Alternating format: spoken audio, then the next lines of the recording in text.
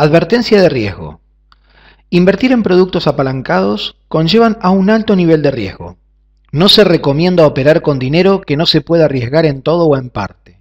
Si bien contamos con herramientas variadas para controlar el riesgo, es necesario que se comprenda bien el hecho de que una mala gestión del mismo puede ocasionar la pérdida total o parcial del capital. Hola amigas y amigos, llegamos al video número 4 de mi estrategia de trading. Recordar que este es un resumen, una serie de videos en donde resumo mi estrategia de trading, que ya me han visto operar en 39 videos anteriores. Es una lista de reproducción de mi canal muy, muy interesante, en donde explico detalles que quizás no puedo explicar en este resumen. Así que eh, si no la has visto, si has llegado a mi canal, estás viendo este resumen y no has visto esos 39 videos, te recomiendo si tienes tiempo que los veas porque ahí explico cosas muy valiosas. Bien, en una parte de aquí de este video, en arriba, a la izquierda, a la derecha, no sé dónde, va a salir un cartel donde puedes hacer clic e ir a ver esa lista de reproducción en forma ordenada. Bueno, vamos a continuar con la explicación de mi estrategia de trading. Este es el video número 4. En el video número 1 hablamos sobre tendencias.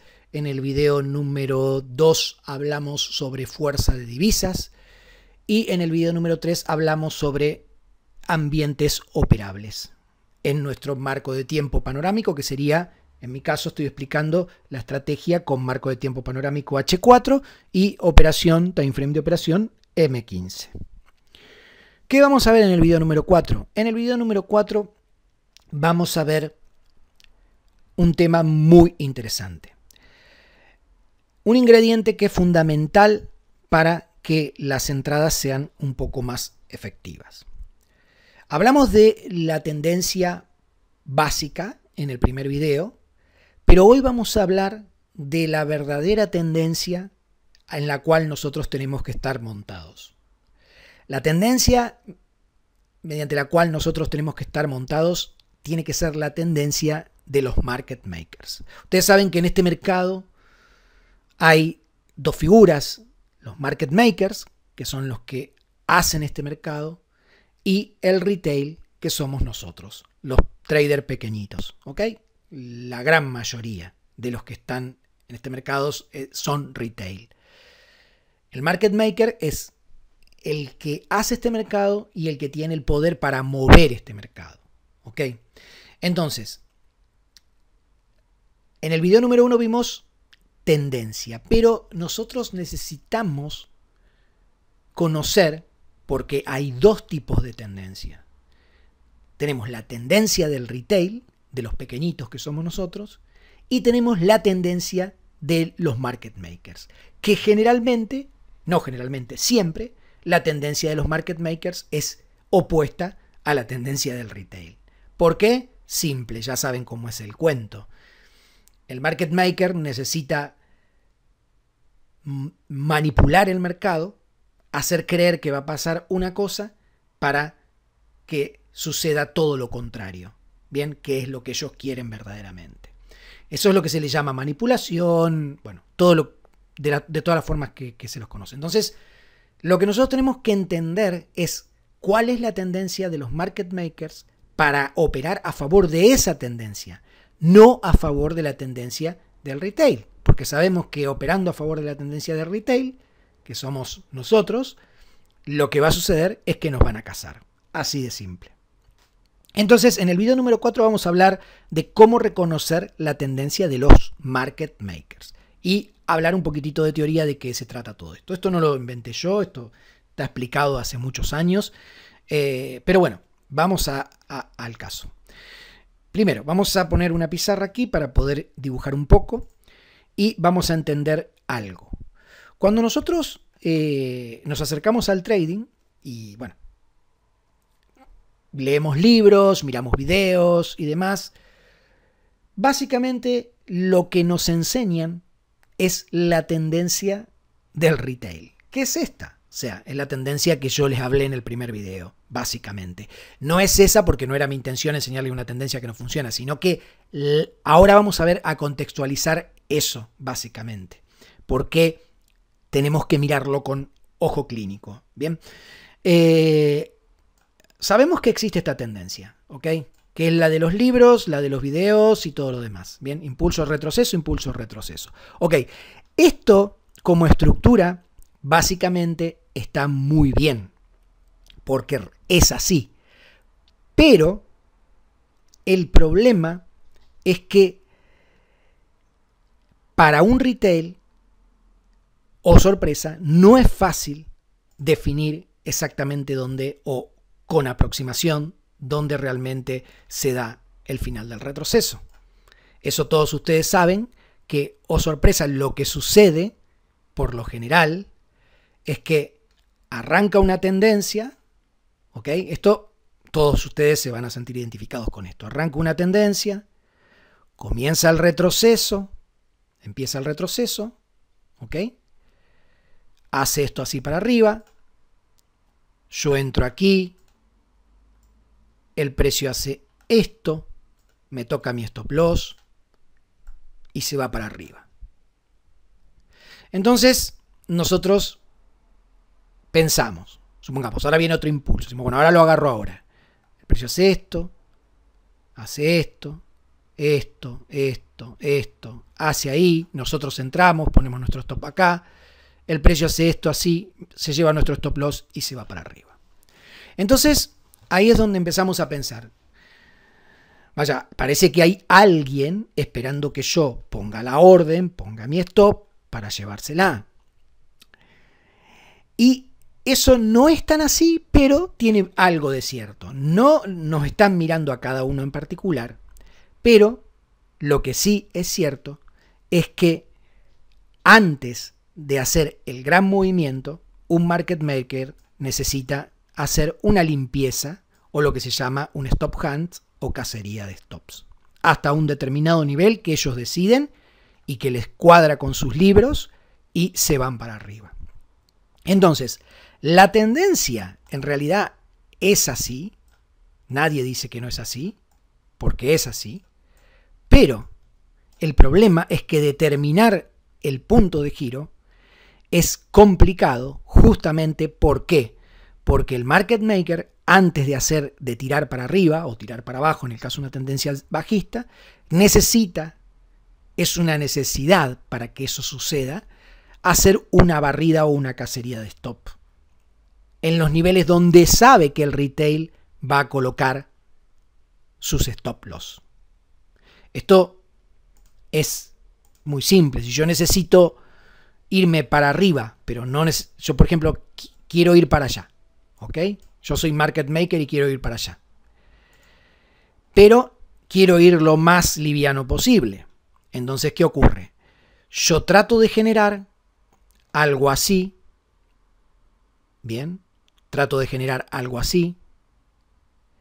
Ya cuando llego a esta parte, el retail sabe por libro que acá hay un soporte y acá hay una resistencia. ¿Ok? Eso por libro el retail lo sabe.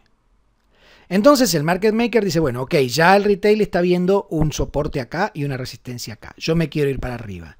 Entonces, ¿yo qué tengo que hacer para que irme para arriba lo más liviano posible? Bueno, simple. Tengo que llevar el mercado hacia abajo, romper este nivel, romperlo. Ojo que no solamente basta con romperlo. Aquí atrapo a algunos traders que compran la ruptura pero no basta con romperlo. Yo tengo que hacerles creer que esto se va a ir para abajo. Tengo que ir para acá, hacer un retest, volver a bajar. Ahí ya todos los que conocen el tema del pullback van a entrar y decir, ahora sí, se rompió, pullback, vuelve. Frenar el precio acá y aquí puedo ya hacer el shift. ¿Ok? Porque tomo a los de la ruptura acá, tomo a los del pullback acá y me voy para arriba. ¿Qué ocurre? A los de la ruptura les agarré el stop acá. A los del pullback también les agarré el stop acá. Y también casé un montón de stops que había por la gente que había entrado en este rango. Entonces fíjense en ese movimiento de lo que sería una M, una W, perdón, abajo una M es arriba. En este movimiento de una W, la cantidad de desastre que hice. ¿Ok? Entonces, básicamente, lo que uno tiene que tener en cuenta, no vamos a ser muy detallistas con esto, esto es una explicación básica, ¿bien? Básicamente lo que uno tiene que tener en cuenta es que los niveles obvios generalmente son reventados para llevarse los stop y después hacer el movimiento. Eso pasa una y otra vez y lo vemos adelante de nuestras narices. ¿Ok? Entonces nosotros tenemos que adivinar, tratar de adivinar con la mayor precisión esta intención, la intención de ellos. Saber que ellos quieren irse para arriba o ya se están yendo para arriba. Entonces, sabiendo eso, nosotros podemos encontrar la verdadera tendencia y montarnos dentro de esa tendencia. Entonces, ¿qué es lo que tenemos que hacer ahora? Nosotros sabemos que hay un esquema básico, este es un esquema básico de lo que sería el, movimiento market maker. Obviamente no tomen las cosas al pie de la letra porque generalmente las cosas no son siempre tan así, pero es un esquema básico de cómo se mueve el market maker. Por ejemplo, hay una consolidación para atrapar órdenes, rompen ese nivel de consolidación, se rompe, esto puede ser hacia abajo o hacia arriba, hacen lo que se llama la cacería de stop y ahí hacen el shift, un movimiento, dos movimientos, tres movimientos, aquí arriba empiezan a consolidar, hacen su cacería de stop, shift y consolidan acá por la mitad más o menos. Esto básicamente es lo que sería la estructura básica del market maker. No es exacta, obviamente, y lo vemos todos los días adelante de nuestras narices. Y esta estructura puede ser diaria, puede ser toda una semana, puede ser dos días. La idea principal es que generalmente después de que el market maker crea lo que sería su W o su M aquí arriba, se va a mover lejos de ese punto que ellos llaman punto ancla, ¿bien? Por lo menos tres impulsos. ¿Por qué tres? Porque es lo que hace falta para convencer a todas las personas que esto se va para arriba y volver a bajar el mercado y quedarse con los stop loss. 3 es un número que para el ser humano funciona muy bien para convencerlo de algo. Una vez no me la creo tanto, dos estoy en duda y tres ya me la creí completa. Entonces, eso es psicología pura y funciona a la perfección para ellos desde hace años. Y este esquema lo podemos encajar en un día, siendo esto tres movimientos, tres push en el día, en una semana, siendo esto la acumulación de domingo-lunes, el ancla el día martes, miércoles, jueves, viernes se mueve para arriba, consolidación, eh, cacería y la consolidación final. Este esquema se puede encajar en, en, cualquier etapa de tiempo, no se olviden que el mercado es fractal, pero el timing es muy importante. Generalmente en el día sucede que esta consolidación es durante el mercado asiático, eh, hay una ruptura, hay un stop hand luego del, mercado asiático eh, y durante Londres hay una movida muy fuerte para que en la parte americana venga de vuelta la consolidación. Tampoco esto es exacto.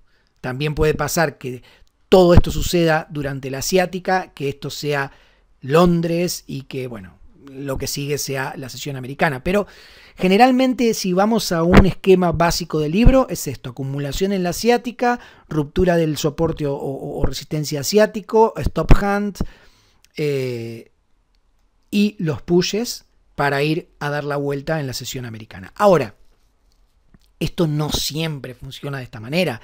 Hay veces que el mercado funciona todo el día se queda el precio así. Y ustedes dicen, ¿dónde está este esquema? Por eso le digo que este esquema es un esquema ideal y que cuando se da y uno lo reconoce tiene que aprender a aprovecharlo. Bien, pero no es la parte más importante de nuestra estrategia. Yo les hago esta breve introducción para que entiendan de qué estamos hablando. Bien, de que hay una manipulación, que existe un momento de consolidación, que existen las W y las M, que son los puntos anclas de un inicio de un movimiento, los tres pushes y la consolidación final. Pero eso es algo que no vamos a detenernos a analizar es exactamente eso. Nosotros lo que queremos, nuestro objetivo, y el, objetivo del video número 4 es tratar de llevar nuestra estrategia a estar a favor de la tendencia de los market makers. Bien, bueno. Y ahí está. ¿Cómo hacemos esto? Ahora sí, nos vamos a la gráfica y aquí tenemos, eh, por ejemplo, el, hoy el euro dólar. ¿Ok? Eh, si llegamos hasta el video número 3, sabemos que es llegar a la parte donde vemos el ambiente operable o lo que nosotros vamos a operar en base a nuestro time frame panorámico. Los que estudiaron y vieron hasta aquí todos los videos, si ven esto, aquí, por ejemplo, hoy a la mañana, esto es hoy a la mañana, si ven esto aquí, y les dejo unos segundos para que piensen, ¿de qué se trata? Tic-tac, tic-tac, tic-tac. Unos segundos para que piensen. ¿De qué se trata esto? Es uno de los tres ambientes operables que yo hablé en el video número 3. Bueno, si no lo adivinaron, sabían que uno era eh, la fluidez al alza, otro era la fluidez a la baja, dos velas al alza, dos velas a la baja, o una vela y media o lo que fuera, y el tercero era velas de cuatro horas entrelazadas.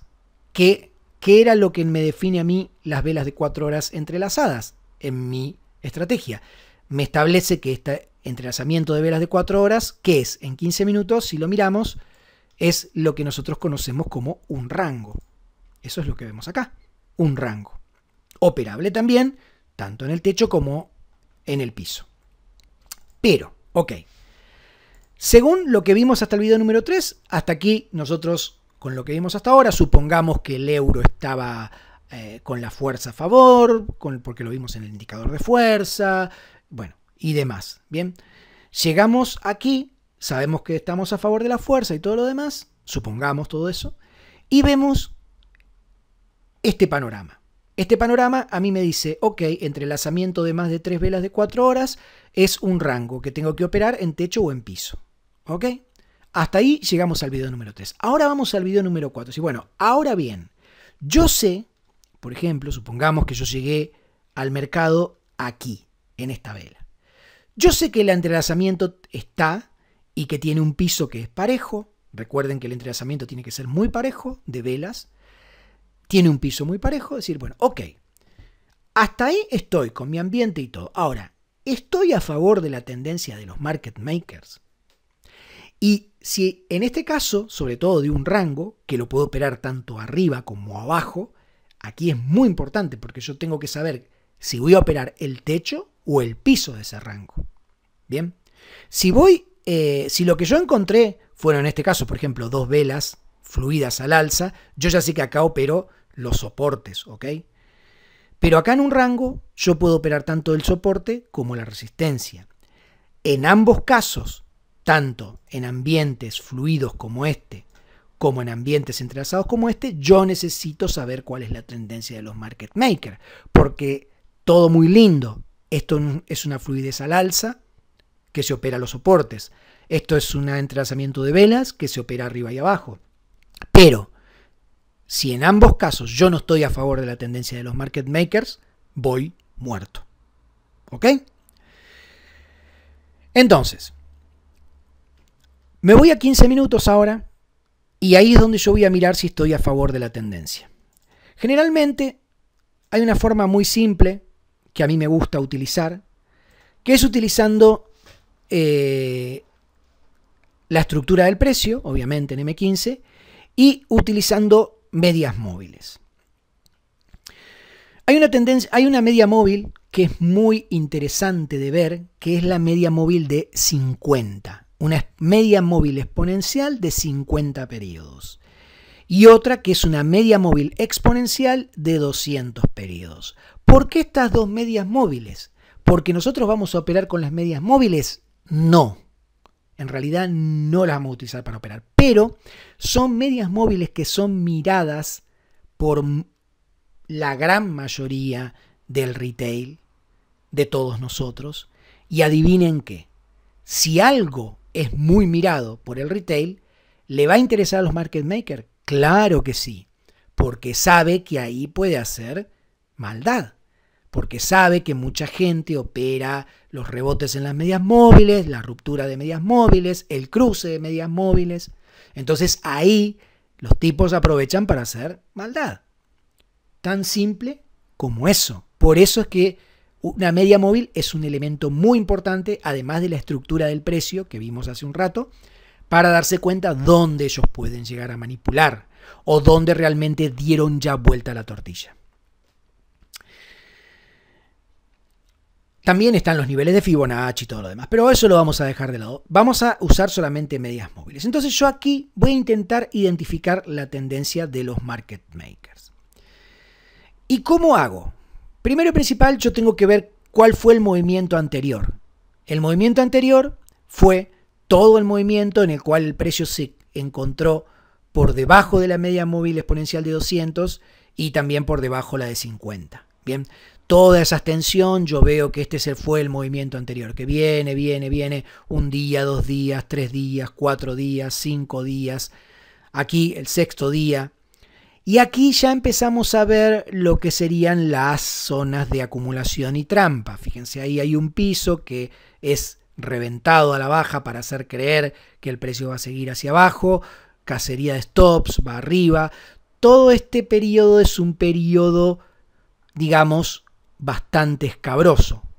De idas para arriba, para abajo, pim, pam, pum, pam, rompen, roban stops. Acá hay otro nivel que generalmente también se utiliza. Este nivel ahí es un nivel de retail. Fíjense, pam, pam, robo, vengo, choco, robo, sigo. Fíjense que todo esto es hacerle creer al retail que el precio va a bajar. Vuelvo, reboto para, para, para hacerles creer el pullback y voy para arriba hasta que llega el momento del shift. El shift se nota porque el GIF se nota que lo que sería el, punto de, de, reversa, se nota porque es un movimiento muy agresivo que generalmente cruza por encima de las dos medias, queda por encima de las dos medias y también la media de 50 y la de 200 se cruzan. Entonces, esto es un shift.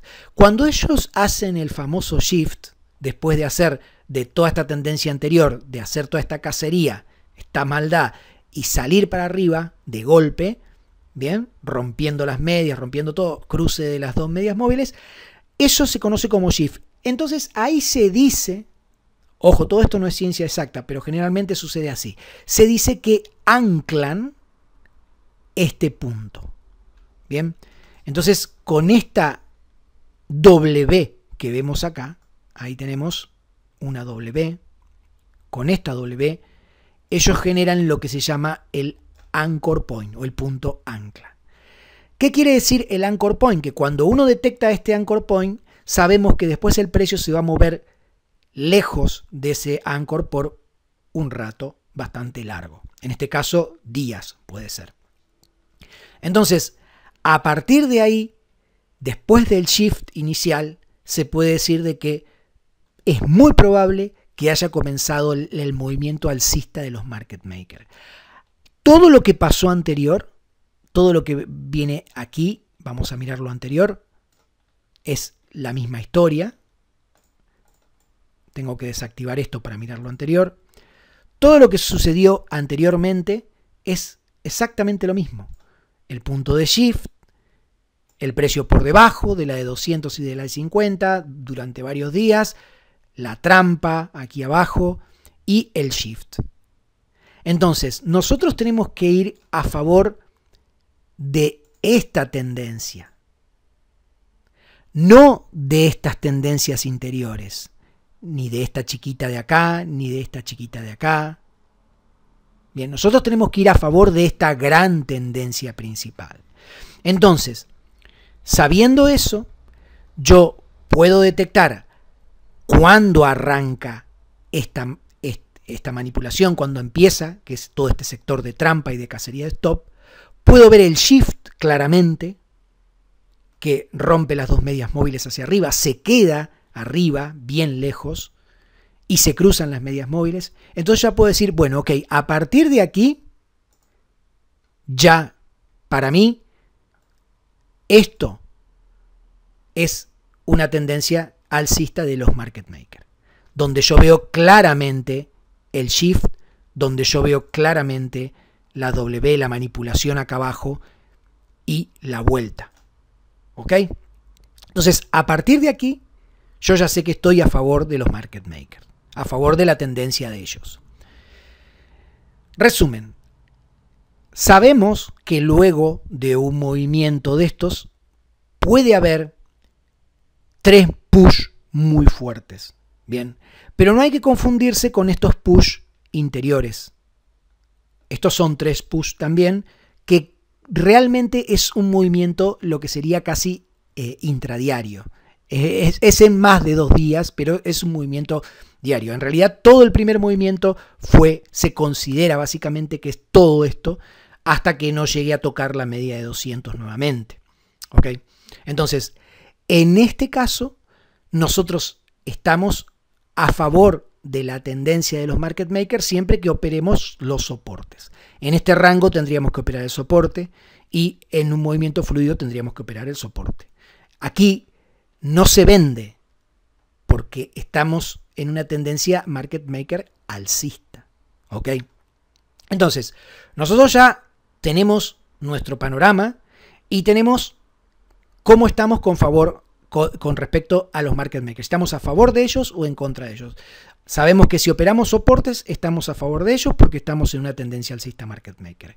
Con eso ya validamos. Y ustedes dicen, ¿hasta cuándo esta tendencia eh, es válida? ¿Hasta cuándo tengo que considerar la tendencia alcista market maker? Bueno, en teoría, esto es hasta que ellos sigan subiendo o hagan esto así, hagan un shift, rompan las dos medias móviles y pase lo mismo que pasó acá abajo, pero a la baja. Hasta que no suceda eso, nosotros estamos dentro de la tendencia alcista market maker. Y en estas tendencias lo que uno opera son, en tendencia alcista lo que uno opera es soporte. En tendencia bajista market maker se operan las resistencias. ¿Ok? Ahora, ahora viene una parte muy, muy interesante. Yo ya tengo, en este caso tengo mi sesgo por, mi temporalidad, por, el marco panorámico que voy a operar el soporte de este, eh, de este rango. Pero tenemos que tener en cuenta que este rango, ¿ok? Cada vez que ellos hacen una subida, fíjense lo que sucede,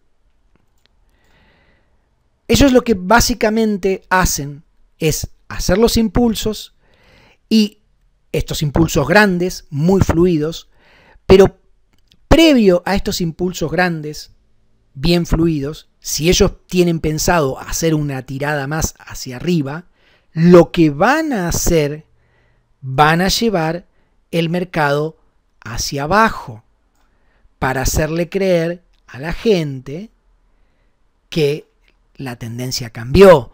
Entonces van a trabajar mucho, van a trabajar mucho sobre esta zona. Pueden bajar acá en la media de 200, hacer algo así, volver a subir. Entonces, ellos van a manipular mucho el precio ahí para hacer un tirón nuevo al alza. ¿Ok? ¿Qué es lo que tenemos que hacer nosotros para estar a la defensiva de esta situación? Aquí, en este caso, todavía no se ve que ellos quieran tirar el mercado a la baja para... Eh, esto no es una tendencia bajista para el retail. Esto a nadie le convence que esto es una tendencia bajista todavía. ¿ok? Para que nos convenzan de eso, lo que tiene que suceder aquí es que esto se venga hacia abajo y haga esto. Entonces, ahí, todavía no convencen a nadie. Lo que sí sabemos que ahí hay un rango. ¿ok? Entonces ellos, mientras no sabemos si lo que van a... Nunca sabemos qué es lo que van a querer hacer. O sea, nunca sabemos si realmente van a querer tirar esto hacia abajo para hacer creer al retail y después hacer el movimiento fuerte hacia arriba. No sabemos si realmente quieren girar para abajo nuevamente. No sabemos si de aquí se quieren ir para arriba derecho sin robar los stops. Entonces ustedes me dirán, pero ¿cómo entonces sabemos? Bueno, nosotros a nivel defensivo lo que podemos hacer, si nosotros hoy a la mañana en M15 detectamos este rango, lo detectamos acá, sería que nuestra entrada tendría que haber sido por acá, ¿ok? En M15. lo que nosotros deberíamos hacer es tener en cuenta que dentro de este rango, cuando nosotros vengamos a buscar esta operación, es muy probable, es muy probable, porque estamos hablando del mínimo del día, y estamos hablando que acá tenemos el mínimo de la semana, que fue el mínimo de ayer, es muy probable que acá no sucedió, pero es muy probable que suceda que esto venga y haga esto así. Pácate, rompa y se vaya para arriba. Usted dice, el rango no funcionó. Bueno, el rango no, en realidad no es que no funcionó. Hubo cacería de stop. Y listo. Entonces, tener en cuenta el stop loss cuando uno va a operar este tipo de cosas y sabe que tiene aquí cerca el mínimo de la semana, aquí el mínimo del día, aquí la media de 200 y que sabe que hay muchas probabilidades de que el market maker en, esa, en todas esas zonas que son que saben que son las zonas clave, bien, el mínimo de la semana, el mínimo del día, la media de 200, venga y haga alguna maldad por aquí abajo. Entonces, si nosotros vemos, y aquí es donde vamos a ir a ver al video número 5, que voy a grabar la próxima semana, que es lo que son los patrones de entrada. Pero les adelanto algo. Uno puede entrar aquí en el piso de este rango, pero tiene que tener muy en claro que eso es un piso que de momento el retail lo está viendo. ¿Ok? Hoy hubiese funcionado. El retail lo está viendo porque ve acá una resistencia, ruptura de ese nivel, viene aquí a la zona, lo que sería la zona menor. El retail lo está viendo. Entonces, si el retail lo está viendo, los market makers se empiezan a relamer. ¿Por qué? Porque saben que pueden hacer esto. Sabiendo que el retail está viendo eso como un soporte, ellos pueden hacer una inducción hacia abajo, quedarse con los stop de aquí abajo y levantar el precio. Entonces hay que ser consciente de eso. ¿ok? Yo puedo entrar en el nivel, pero si voy a entrar en el nivel, tengo que tener en cuenta que me pueden venir a cazar hasta acá abajo, tranquilamente. El mínimo del día, esto es zona mayor, mínimo, eh, mínimo de toda la semana, la media de 200, todas las achurías que se pueden hacer por acá son incontables. Hoy funcionó, porque yo entro acá, el precio se fue para arriba, pero obviamente yo tenía en claro que el stop tiene que ir lejos, porque puede haber cacería. Otra es esperar que realmente, que eso está muy bien también, y me permite operar con stop muy justitos, es esperar que vengan, rompan el nivel, hagan eso aquí y aquí me hagan una especie de W para yo poder entrar. Esa es más segura, esa entrada. ¿Ok? Y esto vale tanto para un rango como para una zona menor de una tendencia, una zona mayor o lo que quieran. Son zonas. Entonces, hasta aquí ya sabemos cómo saber si estamos a favor de los market makers. En este caso sabemos que estamos a favor de los market makers y sabemos que si vamos a favor de ellos, la cosa está bien. También tenemos que tener en cuenta que cuando yo opero la zona, puede, si esa zona es muy visible como esta, por el retail, en esa zona puede haber manipulación. Hoy no la hubo, pero puede haber tranquilamente antes de irse para arriba. Eso tiene que estar en claro. Y que cuando yo quiero detectar si cuál es la tendencia market maker, es muy simple. Tengo que ver el último shift, lo que les acabo de explicar. El último shift.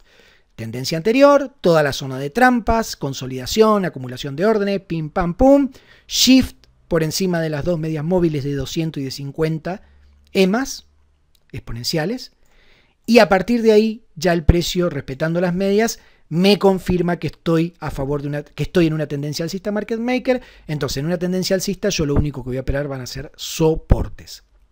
No voy a operar resistencias. ¿Se entiende?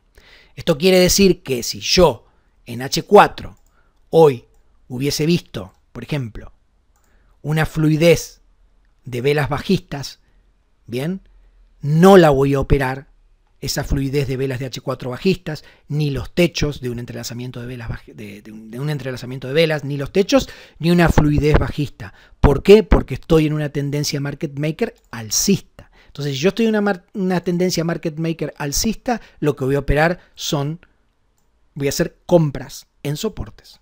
¿Ok? Y saber que los soportes son manipulables, 100%, sobre todo si son muy visibles como este. Sobre todo, tener en cuenta cosas claves. ¿Está cerca de la media de 200? Check, eso es manipulable. ¿Está en una zona visible market maker, eh, retail? Sí, es manipulable, ¿ok? Soporte resistencia. ¿Está cerca de un mínimo diario? Sí. ¿Está cerca de un mínimo semanal? También. Bueno, todo eso es la combinación perfecta para hacer maldades en todas esas zonas. Entonces uno tiene que saber que si entra acá, pueden venir a cazar stop hasta, incluso hasta más abajo de esto. Bien. Por eso es que muchas veces en lugar de entrar así a ciegas en una zona tan obvia, Bien. Es preferible esperar a que ellos hagan. Si me la pierdo, me la pierdo, no importa. No entré, pero no perdí dinero tampoco. Pero si yo espero que ellos hagan la maldad y entro a favor de ellos, seguramente mi operación va a requerir un stop muy inferior y además me voy a ir con fluidez en mi dirección, en la dirección que yo quería ir. El próximo video va a ser acerca de las, los patrones de entrada.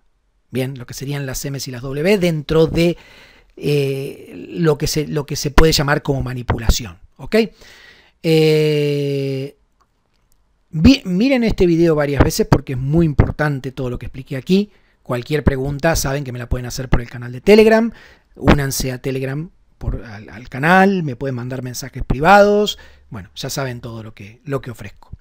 Eh, pero vean esto, medítenlo, y ya en la próxima, eh, el próximo video ya es el último video en donde vamos a ver los patrones de entrada, que mm, ya se darán cuenta, ya tenemos lo más importante, ya sabemos los ambientes de operación, ya sabemos si estamos a favor de los market makers o no. Ahora lo que queda es disparar.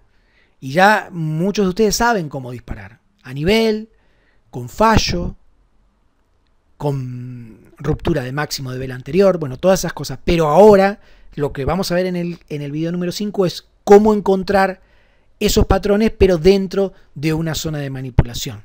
Así podemos entrar con más seguridad. Nos estamos viendo en el próximo video y les recomiendo que vean este video más de una vez para entender bien todos estos conceptos. Nos vemos la semana próxima si Dios quiere, si no la otra.